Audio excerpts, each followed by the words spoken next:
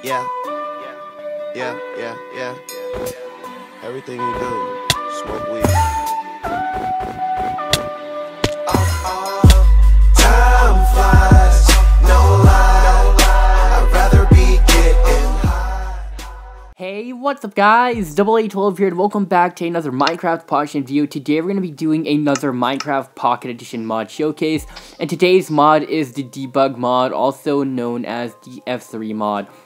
So real fast guys, I just gotta give you guys a little bit of, um, I guess, background story on this mod. So in the PC version of Minecraft, if you press the F3 button on your keyboard, it will show up, um, a screen, like, okay, it shows a lot of data on your screen, like it shows you your coordinates, um, what biome you're in, the light, the light level, and all that stuff. It adds it into Minecraft PE. Now the mod, if you guys want to go get it, will be down in description for you Android users below.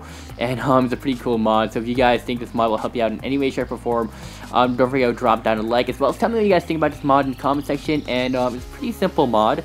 As you can see right under the chat, there is the D button over there. That is a debug button. All you have to do is press it, and um, there we go. As you can see, on, off, on, off.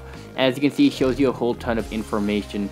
Now, as you can see over here, on the top, it would say Minecraft Potion 0.13.0 Alpha. It would show you all the FPS you're getting in the game. I don't know if that's completely accurate, but you know, when I look up, it stays like at a stable 20 for some reason. I don't know if that's accurate or not, but yeah.